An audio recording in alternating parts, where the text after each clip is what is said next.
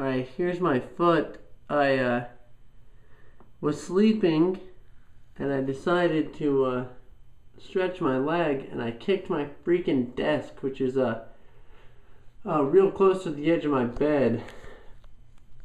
It kind of felt a little broken, but uh, I figured I just uh, bruised the shit out of it, and I was right. Luckily, I hit the top of my toe, and I highly doubt it's broken, just bruised as shit.